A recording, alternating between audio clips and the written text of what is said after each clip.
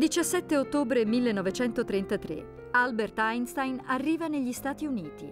Lo scienziato ebreo lascia la Germania per fuggire alle persecuzioni naziste. All'epoca della fuga ha già vinto il premio Nobel per la fisica, dopo aver pubblicato nel 1905 una memoria in cui espone i principi della teoria della relatività.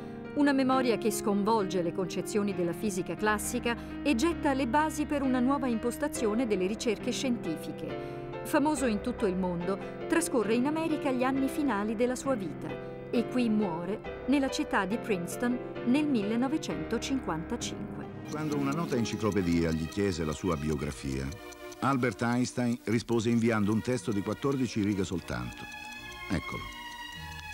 Nacque a Ulm, in Germania, il 14 marzo 1879.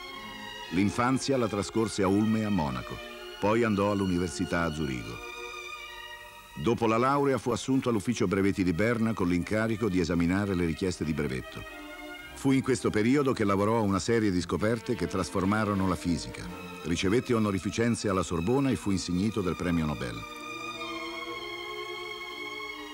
Fece ritorno nella natia Germania soltanto per esserne espulso dai nazisti, insieme ad altri intellettuali, fra cui Thomas Mann. Si stabilì definitivamente a Princeton, nel New Jersey, e diventò membro permanente dell'Istituto di Studi Superiori. Le sue scoperte sulla relatività portarono altri scienziati a costruire la prima bomba atomica. Einstein non ebbe però alcuna parte nella realizzazione della bomba ed esortò le nazioni a rinunciarvi trattandosi di un'arma terribile. A queste note autobiografiche l'enciclopedia aggiunse soltanto. Aveva 76 anni quando morì il 18 aprile del 1955. Ma basterebbe approfondire la conoscenza della prima parte della vita di Albert Einstein per aiutare una comprensione del personaggio. L'intelligenza è un fiore delicato, dirà più tardi riferendosi ai suoi anni giovanili. E per spiegare la strada seguita nel raggiungere i suoi traguardi di pensiero aggiungerà Penso che una delle motivazioni che portano l'uomo verso l'arte e la scienza sia il desiderio di trascendere il quotidiano, fuggendo dalla sua dolorosa durezza e dalla sua cupa monotonia. Sono motivazioni che potrebbero essere paragonate al desiderio che spinge irresistibilmente l'abitante della città verso la vita diversa delle montagne. Per un artista, uno scienziato, l'unica cosa che conta è osservare e comprendere gli oggetti, il mondo che lo circonda. It followed from the special theory of relativity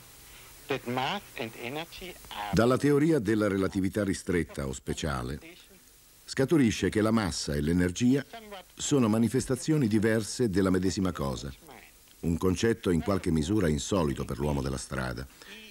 Inoltre, l'equazione E uguale mc al quadrato, in cui l'energia è uguale alla massa per la velocità della luce al quadrato, dimostra come una piccolissima quantità di massa può essere trasformata in una grandissima quantità di energia e viceversa. Secondo questa equazione la massa e l'energia sono di fatto equivalenti. Ciò è stato dimostrato sperimentalmente nel 1932 da Cockcroft. in 1932 experimentally.